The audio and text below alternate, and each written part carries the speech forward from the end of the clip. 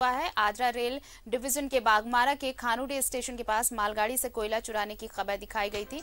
इस मामले की जाँच करने के लिए आरपीएफ की टीम बागमारा के खानूडे स्टेशन पहुँची। वहाँ पहुंचकर मामले की जाँच पड़ताल की, लेकिन टीम के सदस्यों ने इस मामले में कुछ भी कहने से इनकार कर दिया।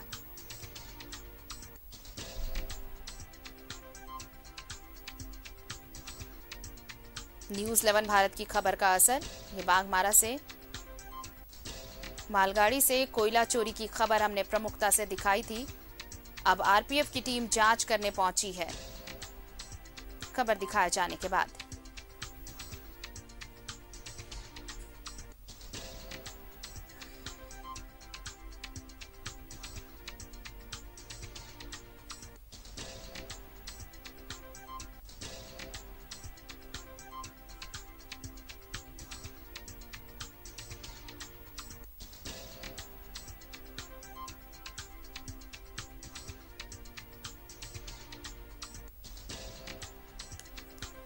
भागमारा से ये खबर हमने दिखाई थी कि कैसे चलती ट्रेन से कोयला चोरी किया जा रहा था।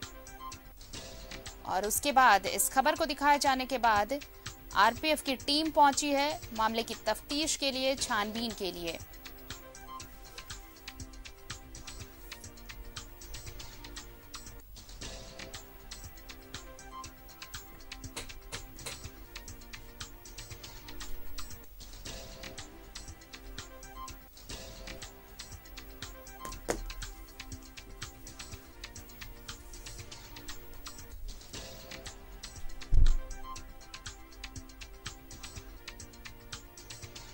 ज़्यादा जानकारी दे रहे हैं सहयोगी अशोक इस वक्त हमारे साथ जुड़े हुए हैं। अशोक खबर हमने दिखाई थी कि कैसे मालगाड़ी से जो चलती मालगाड़ी से कोयले की चोरी हो रही थी और उसके बाद प्रशासन रेल प्रशासन जागा है और जाँच के लिए पहुँची है टीम। जी जो जाँच की टीम है आदर रेल डिवीज़न के भोजूडी और महोदा स्टेशन की आरपीएफ टीम थी। हम्म। और आरपीएफ का नेतृत्व इंस्पेक्टर मुकेश कुमार कर रहे थे। जाँच के दौरान उन्होंने खानोडी स्टेशन मास्टर से भी कई कई पहलुओं पर बात की और यह भी सुनिश्चित किया कि फिर से यह हादसा ना हो सके।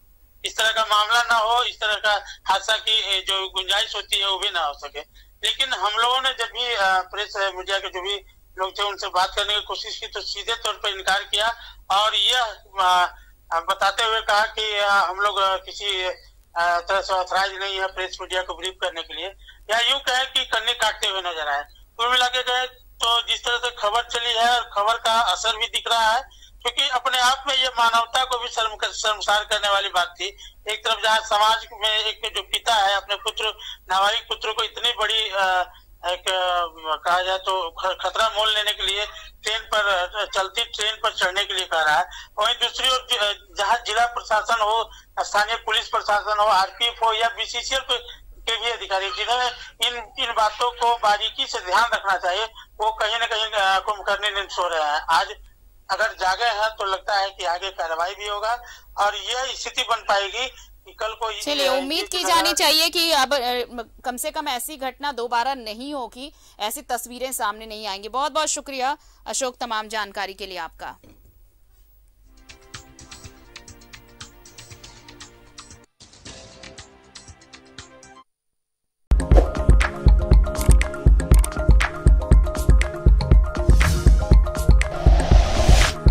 Like and share videos, subscribe करें हमारा चैनल और प्रेस करें बेल आइकॉन न्यूज़ 11 भारत. सच है तो दिखेगा।